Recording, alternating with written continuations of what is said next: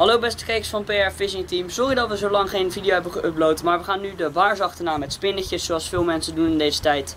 We, willen jullie ook als eerst bedanken voor de meer dan 500 weergave op de eerste video. En eh, de Nevin, die hoort ook bij het PR Fishing Team. En eh, die is er nou eindelijk eens een keer bij en eh, vertel eens over jezelf. Nou, hallo, ik ben Nevin. Ik hou van vissen. En ja, dat ga ik nu samen met Lars doen. It's okay. See you.